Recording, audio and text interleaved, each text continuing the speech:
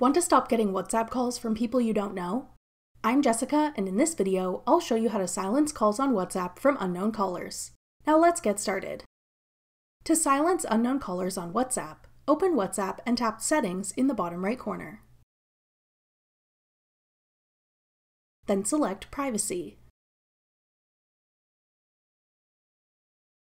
Tap Calls. Then tap the switch labeled Silence Unknown Callers.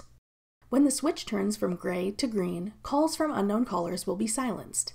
Your phone will only ring when you get WhatsApp calls from people in your contacts list. You can see silenced calls from unknown callers in the Calls tab and your notifications, but your phone won't ring.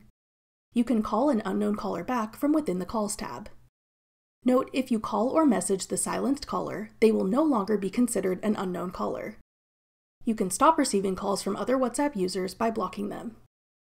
That's all it takes to silence unknown callers on WhatsApp. If you want to stop getting regular phone calls from unknown callers as well, check out our video on how to silence unknown callers on iPhone next. Click the video on your screen now to watch. Thanks for watching. If you found this video helpful, we'd love it if you'd hit the thumbs up button below and subscribe to our channel. We put out great new tech tutorials like this one every day.